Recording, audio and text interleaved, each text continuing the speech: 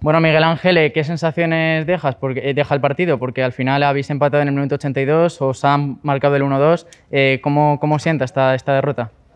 Bueno, sienta mal, porque al final cualquier derrota sienta muy mal. Eh, también encima en, casa, que era la jornada en la que volvíamos a estar con nuestra gente, pues evidentemente no queríamos eh, acabar con, cero puntos. Eh, yo creo que el equipo al final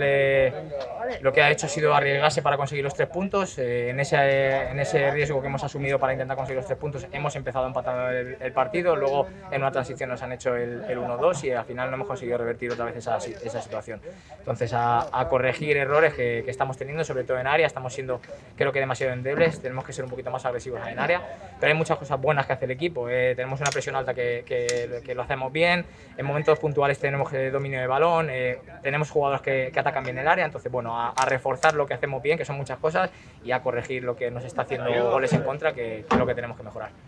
Da la sensación, Miguel Ángel, de que el equipo ha tenido las ideas más claras en la primera parte, donde ha tenido más oportunidades, casi donde puede ser que el partido se haya escapado más en la primera parte, donde el equipo ha tenido mucho más juego y muchísimas más ocasiones. Sí, quizás también el, el hecho de que nosotros estuviéramos cómodos en la primera parte, cómodos entre comillas, porque ya es verdad que han tenido dos o tres acercamientos, el gol y un palo también,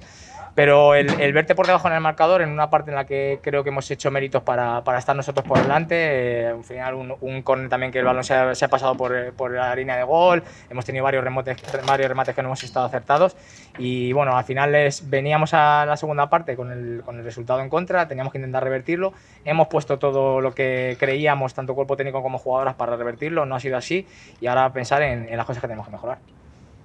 Llegáis al, parón con cero puntos de seis posibles. ¿Qué necesita mejorar el equipo durante estas dos semanas? Bueno, sabíamos que, iba a ser difícil el inicio. Veníamos de una pretemporada un poquito convulsa, teníamos que, organizar un poco, teníamos que conocernos todos. No hemos tenido mucho tiempo porque al final hemos tenido solo dos semanas para preparar el inicio liguero. Eh, entonces eh, es un inicio que entraba dentro de las posibilidades. ¿no? Queríamos conseguir algún punto, eh, a ser posible alguna victoria, pero no ha sido así. Lo que tenemos que hacer ahora es eh, trabajar, seguir sobre todo a nivel condicional para que lleguemos más frescos a los últimos tramos de partido y evidentemente encajar menos. el equipo tiene que empezar a, encajar cero porque tenemos eh, variantes suficientes arriba como para hacer gol, tenemos jugadores que, que son determinantes en área y, bueno, el otro día contra el Atlético Madrid tuvimos ocasiones para hacer gol, hoy hemos tenido ocasiones para hacer gol, entonces yo confío en que gol vamos a hacer y ahora lo que tenemos que hacer es, evitar que nos, que nos hagan gol a nosotros. El equipo Miguel Ángel ha, terminado con todo arriba, tres delanteras, no se han dejado nada, incluso hemos visto a jugadoras recién llegadas esta semana como Yoko Isadora rendir a muy buen nivel. Sí, lo que te digo, el equipo tiene variantes en ataque para, para intentar llevarse los puntos del partido. Es verdad que Yoko y e Isadora han venido esta semana, pero bueno, han estado muy bien, pero también es verdad que les ha faltado una pretemporada, les ha faltado eh, bueno, conocer al grupo, eh, hacer una pretemporada en condiciones eh, y aún así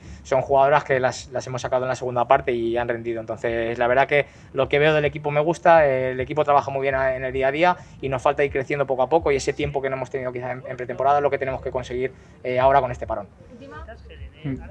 Y Miguel Ángel, la última, eh, si tuvieras que valorar algo de estos dos partidos,